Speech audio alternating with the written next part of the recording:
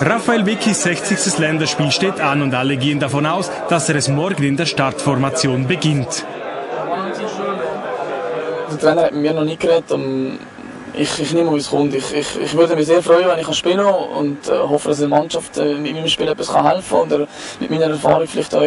Aber äh, wie gesagt, der Trainer hat nicht mehr geredet und das weiss ich dann heute Abend oder morgen sicher. Ruhig, unspektakulär, aber zuverlässig, tempofest und routiniert, so schätzt ihn der Nationaltrainer. Aber auch Vicky schätzt den Coach. Also ich glaube, wir haben ein gutes Verhältnis miteinander. Er schätzt, äh, er schätzt sicher meine Arbeit, meine, meine, meine Spielweise als, als Team, äh, Teamplayer und äh, ich muss sagen, es hat einmal eine, eine, schwierige Zeit gegeben von mir in Hamburg, wo ich unter einem Kurzjahr drei, vier Monate nicht immer regelmäßig gespielt habe. Auch da hat er mir festgehalten und äh, da bin ich ihm dankbar und, und ich versuche natürlich bei jedem Match ihm das Vertrauen, das er mir gibt, jetzt über die letzten zwei, drei Jahre zurückzuzahlen.